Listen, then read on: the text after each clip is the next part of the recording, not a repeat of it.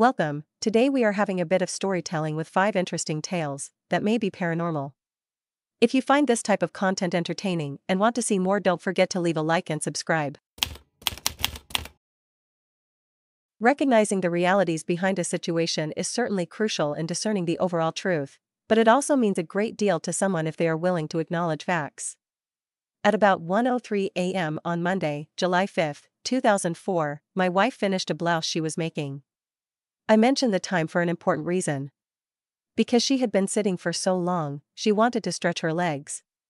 We often take walks in the evening, so we decided to travel just a couple of blocks up Fairfield Avenue, by our house. We had just about gotten to the intersection with Ravine when we saw a shape jump off the sidewalk and into the bushes. We recognized it for the cat that lived in that house. I had mentioned in a thread about the increasing presence of roaming house cats and large anomalous cats that they seemed to be acting like an ancient sign of impending disaster. We had never seen this cat roaming before, but it was now. As we approached the house, we saw a shape on the sidewalk. Getting closer, we saw it was a bunny, perhaps no more than a month or so old. The cat had apparently caught it and was bringing it home when we startled it. Had my wife not finished the blouse at precisely 1:03 a.m., and had she not felt like going for a walk at that exact moment, we might never have been where we were when we were there. I have mentioned that if someone acts by God's will, God will arrange for things to occur so that they can do what's needed. The bunny's legs were jerking and spasming. We didn't know what we could do.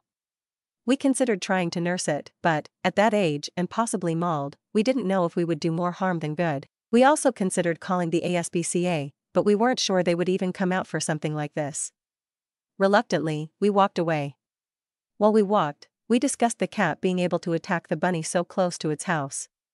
West Caldwell is not that suburban an area.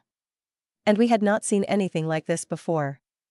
But, in the recent past, wholesale development has ripped up immense parcels of woodland throughout the state.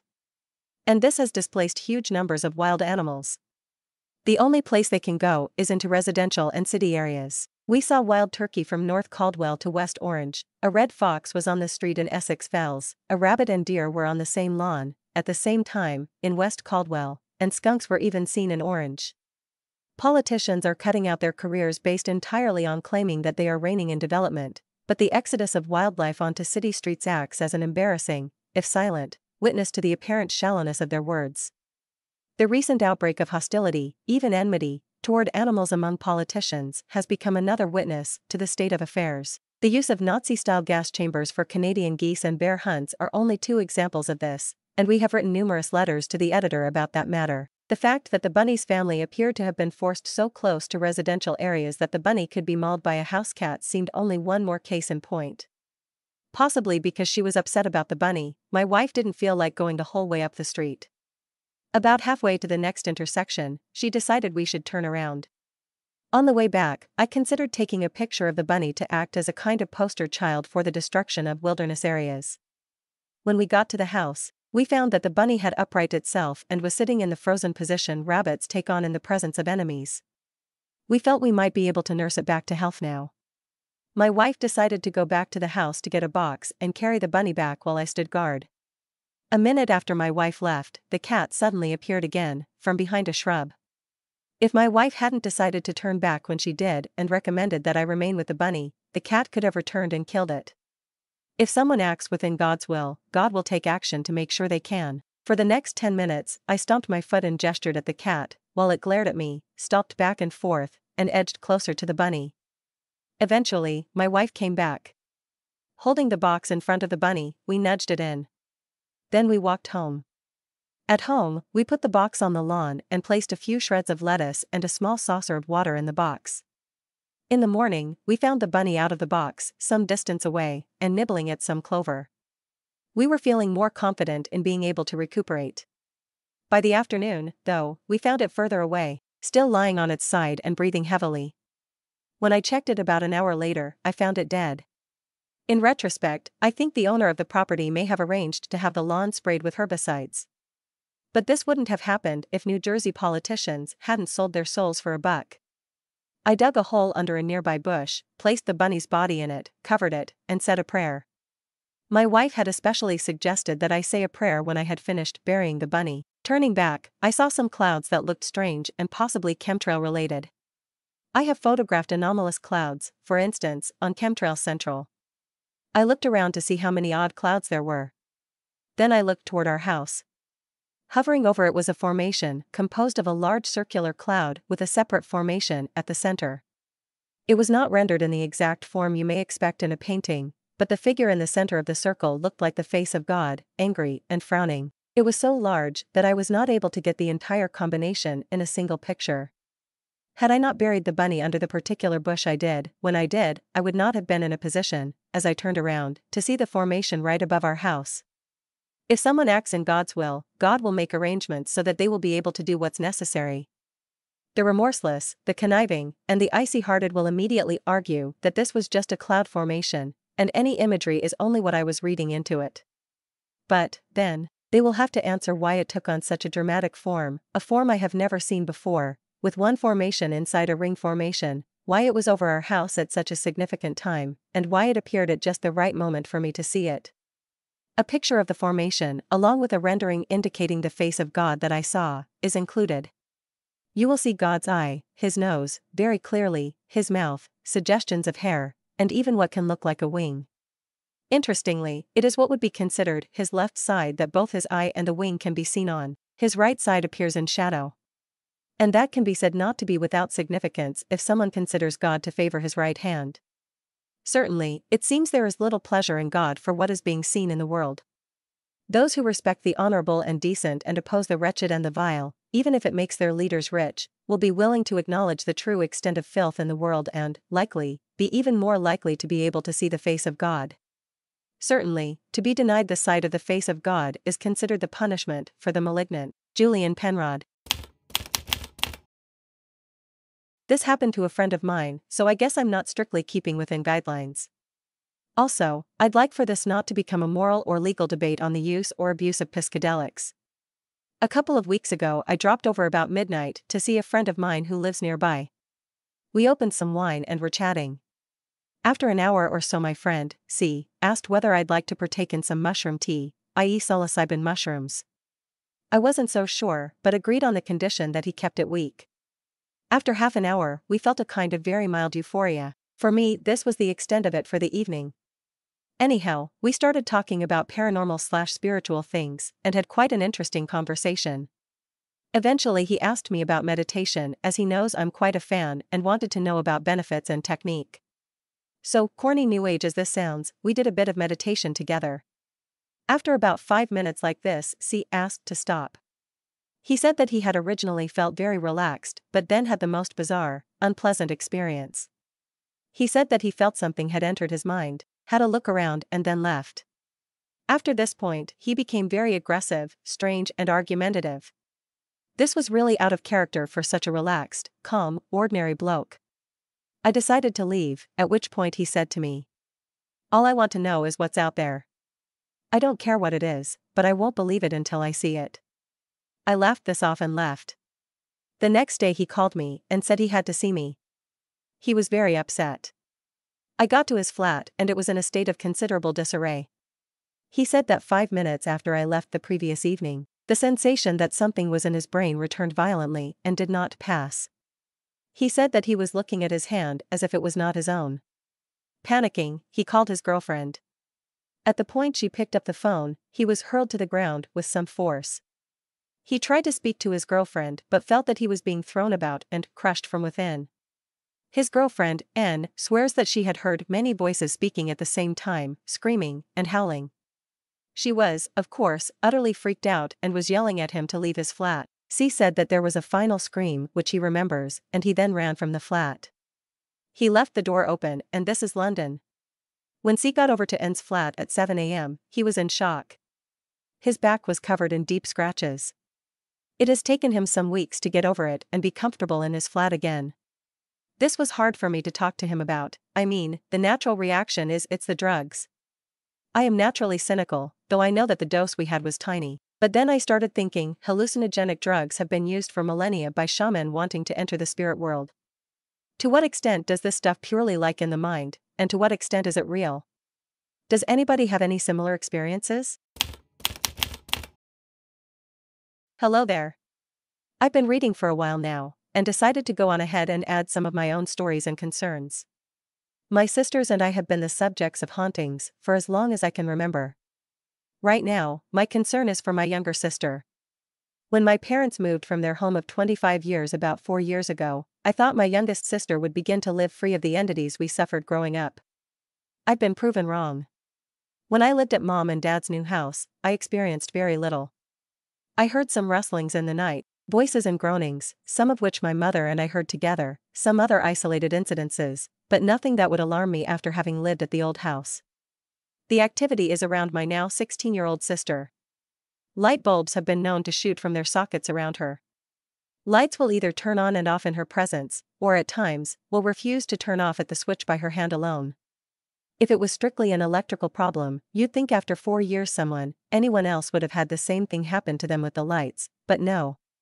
It's simply her. Glasses have shattered in her room, shoving themselves forcefully off of shelves or off her dresser.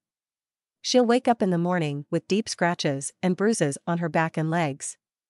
The bruises I could possibly explain away with her being a heavy sleeper and her rolling into the wall in the night, but the scratches throw me. She has a horrid habit of biting her nails down to nubs, by some stretch, and considering the length of her nails, it'd be a big one. Of the imagination, I might see the scratches on her legs being possibly self inflicted, but not down the center of her back, sometimes a continuous scratch from between her shoulder blades to the small of her back. In the old house, as well as the new one, she's been more prone to seeing whatever it is around her more so than myself and our other sisters. She's seen white mists and dark mists that will hover for a moment, then dash through a wall. At the old house, she saw more than I did, more vivid and upsetting things. I'd go into those, but I'm trying to stay focused here. She has other things happen that are less frightening, things we're quite accustomed to. She'll feel someone in the room with her, feel someone staring at her, or see shadows moving around the room. Also, one time while she was washing dishes, she stepped out of the kitchen for a moment. She came back to find all the plastic cups out of the cabinet, stacked in a pyramid style. No one else went into the kitchen behind her, she would have seen, and no one really had time to take the cups out and stack them in such a fashion. I wouldn't be concerned about these things except whatever it is around her seems to have some violent tendencies. I'm going to ask her to keep a journal of her moods and the goings on of the house to see if negativity from herself has any significance to the happenings around her. The ghosts of the old house were mean and cruel, but at least we were never outright attacked or had anything thrown directly at us. They relished more on mental anguish, I'm thinking possibly these things are coming from somewhere within herself, somewhat like a poltergeist thing working there. I don't feel it's anything that's followed her over from the old house, as it's not their style. So, something new that's taken a liking to her? Something from within her? What do you guys think? Hi, I am a new poster here, but after reading through all of this, I feel like I should add my only supernatural occurrence. First, a bit of backstory. I am a student in Bournemouth, and this happened only a couple of months ago, possibly April or May 2004. I don't know if you remember, but Derren Brown did an apparent live TV Ouija board, and we, me and three housemates, saw this advertised on TV, so decided to make a board. We were all geared up to do it. And let me just say here that I didn't believe in Ouija board, I was a subscriber to the theory of tiny muscle movements mixed with subconscious mind spelling out the words. So, the show came on, we turned down the lights and did a bit of the board. For some reason, we only seemed to get a reaction when I was involved. It was general stuff, like yes and no, then it started always going to you. It didn't matter who else paired up, it was just me that seemed to make it work. After a while, I gave up, mostly because I was scared. Not of anything in particular, but just a general sense that I shouldn't be doing it. So, a couple of hours later, we had stopped using the board in favor of watching crap TV. I was sober this night as I don't like to drink that much, but some of my housemates were a little drunk. I was sat in a chair furthest from the TV, and where we did the board, when I suddenly felt an intense burning sensation on my leg. I jumped up and saw that an area of my jeans on my thigh was on fire, so I slapped it with my hand. This didn't put it out, so I just got out of the trousers in the middle of the living room, much to my friend's surprise. I am anticipating some questions, but I would consider myself as a skeptic with a healthy interest in the paranormal. My jeans, which are thick, heavy denim made by Mecca, if it is important, now have a 2 inch wide oval hole in them. My skin was not affected at all though. First, there were candles in the room, but the nearest one I would estimate to be at least 4 feet away from me at the time. I am a smoker, but wasn't smoking at the time and had no lighter or matches near me, so that couldn't be the source of ignition. Has anyone else got any ideas on what might have happened? Please reply, thanks. Jackson. When I was about seven years old, I was bought a ventriloquist doll for Christmas by my parents. I was living with my grandparents at the time, and as soon as I opened it, my grandma said, Oh, that's horrible. It was about two foot tall with glasses and short cropped ginger hair.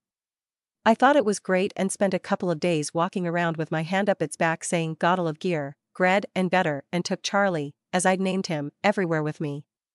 My granddad made a little chair, and Charlie sat at the side of my bed every night in his new chair. After a couple of weeks, I started playing less and less with Charlie until eventually one morning I left him at the side of my bed and got up without him, and that's where he stayed for a couple of nights. However, one night something woke me, and I sat bolt upright in bed. My eyes adjusted to the light, and that's when I saw Charlie sat at the end of my bed, staring straight at me. I sat speechless until I finally summoned up the courage to scream, and my grandma came into my room. I told her what had happened, and she took Charlie into her room and put him in the cupboard. I was soon back asleep in no time. When I woke in the morning, my blood ran cold. Charlie was sat back on his chair. I jumped out of bed and ran downstairs. I told my grandma, and she said that she would put in her wardrobe and lock it. I felt better at this and happily went off to school. I came home from school around 4. I walked into the living room and froze. Charlie was sat on the sofa, and my granddad was sat in his chair talking to Charlie. My granddad said hello to me and said that my friend had come to see me, meaning Charlie. Now my granddad had bad eyes and couldn't read the newspaper without a magnifying glass so for him to mistake a ventriloquist dummy for a small child didn't really worry me. What worried me was how did Charlie get downstairs and why was my granddad talking to him? I didn't say a word I just stood in the doorway not believing what I was seeing or hearing. Just then my grandma came in from outside.